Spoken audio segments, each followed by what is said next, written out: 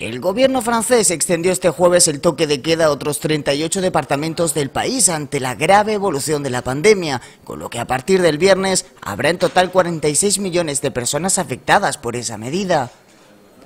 De los 101 departamentos franceses, los ciudadanos de 54, más los de la Polinesia francesa, deberán estar en casa desde las 21 horas de la noche hasta las 6 de la mañana, salvo que tengan motivos imperativos para salir, como laborales o sanitarios.